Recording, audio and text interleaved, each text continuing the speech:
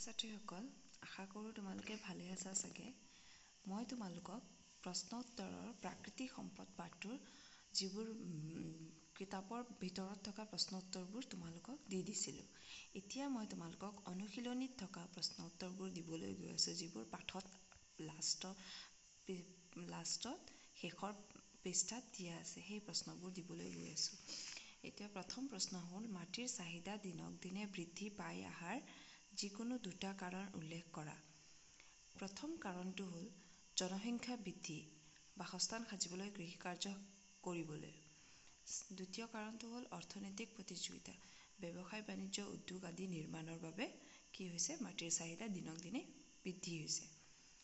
এতিয়া দ্বিতীয় প্ৰশ্নটো চোৱা কোনো এঠাইত জনবসতি ঘন হোৱাৰ কাৰণ কি বুলি ভবা যায়? খেতি পথাৰৰ বাবে উপযোগী সাৰুৱা মাটি উপলব্ধ হ'লে তাৰ আশে পাশে জনবসতি ঘন হয়। কোনো ঠাইত খনিজ সম্পদ অধিক পৰিমাণে উপলব্ধ হ'লে তাৰ আশে পাশে জনবসতি ঘন হয়। তিনি নম্বৰ প্ৰশ্নটো চোৱা। ভূমি অৱক্ষয় হোৱা দুটা কাৰণ দৰ্শোৱা ভূমি অৱক্ষয় হোৱাৰ দুটা কাৰণ হ'ল কৃষিত অত্যাধিক ৰাসায়নিক সাৰ প্ৰয়োগ কৰা খেতি পথাৰৰ মাটিত ইটা ভাটাৰ দৰে উদ্যোগ গঢ়ি উঠাৰ বাবে। কৃষি কাৰ্যত অত্যধিক ৰাসায়নিক সাৰ ব্যৱহাৰ কৰিলে আৰু খেতি পথাৰত ইটা ভাটা তেনেকুৱা ধৰণৰ উদ্যোগ গঢ়ি উঠিলে কি হ'ব? ভূমি অৱক্ষয় হ'ব। বিভিন্ন ঠাইত বৰ্তমান পানীৰ সংকেত সংকট দেখা দিয়াৰ দুটা কাৰণ লিখা। পানীৰ সংকট দেখা দিয়াৰ দুটা কাৰণ হ'ল ঋতু অনুযায়ী বৰষুণ বৰষুণৰ পৰিমাণ কমি অহাৰ বাবে ভূতলৰ পৰিমাণ ভূতলৰ পানীৰ পৰিমাণ দিনক দিনে কমি অহাৰ বাবে কি হৈছে? পানীৰ সংকট দেখা দিছে।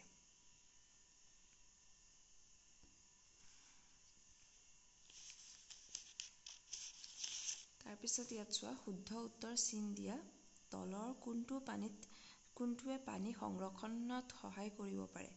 কোনটোৱে পানী সংৰক্ষণত সহায় কৰিব পাৰে? ইয়াত চাৰিটা অপশ্যন দিয়া আছে তাৰে এটাহে শুদ্ধ হ'ব। কোনটো হ'ব?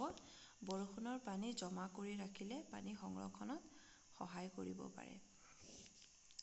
নিৰ্মল পানী পাব হ'লে কি কৰিব লাগিব? পানীৰ উৎস প্ৰদূষিত নোহোৱাকৈ ৰাখিব লাগিব। তলৰ কোনটোৱে শক্তি সংৰক্ষণত সহায় নকৰে? নকৰে বুলি কৈছে। ইয়াত কোনটোৱে শক্তি সংৰক্ষণত সহায় নকৰে? জীৱাশ্ম জীৱাশ্ম ইন্ধনৰ ব্যৱহাৰ অধিক হ'লে কি হয়? শক্তি সংৰক্ষণত সহায় নকৰে। এতিয়া নেক্সট প্ৰশ্ন চোৱা। ভূমি সম্পদৰ গুৰুত্ব আৰু ব্যৱহাৰৰ বিষয়ে লিখা। ভূমি সম্পদৰ গুৰুত্ব কি হয়? পৃথিৱীৰ উপৰিভাগে ঊনত্ৰিছ শতাংশ হৈছে ভূমি। এই ভূমিয়ে জীৱ জগতৰ আধাৰ। মানুহৰ অন্ন বস্তু বাসস্থান আৰু ইন্ধনৰ মূলতেই হৈছে ভূমি সম্পদ। ওপৰতে ভূমি সম্পদৰ ওপৰতে নিৰ্ভৰশীল। ভূমিৰ ওপৰত ভিত্তি কৰিয়ে আমাৰ কৃষি শিল্প উদ্যোগ যাতায়াত আৰু যোগাযোগ ব্যৱস্থা গঢ় লৈ উঠিছে। মানুহৰ সংস্কৃতি অৰ্থনৈতিক আদিৰ ক্ষেত্ৰতো মাটিৰ ভূমিকা সৰ্বাধিক। এই মাটি বা ভূমি অসীম নহয় সেয়ে ই বৰ মূল্যৱান। সম্পদ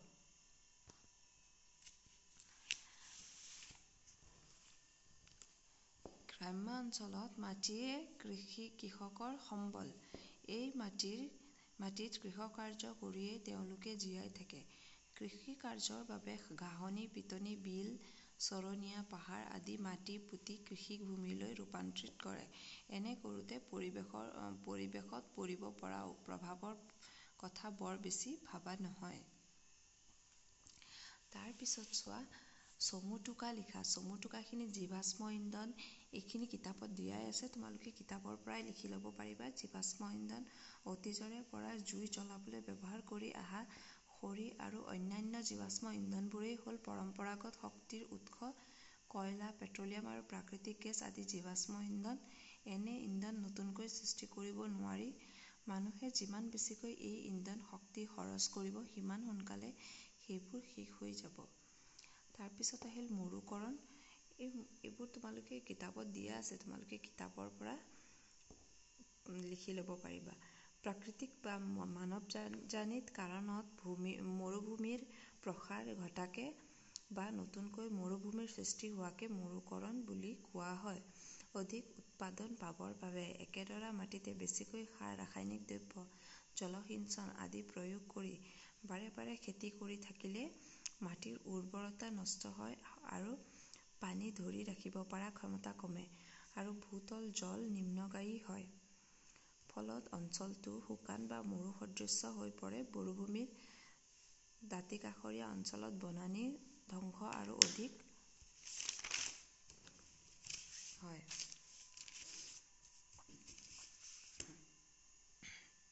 তাৰপিছত আছে আহে সৌৰ শক্তি আৰু ভূমিস্খলন। এইখিনি তোমালোকে কিতাপৰ পৰাই লিখি ল'বা কিতাপত দিয়াই আছে ধুনীয়াকৈ।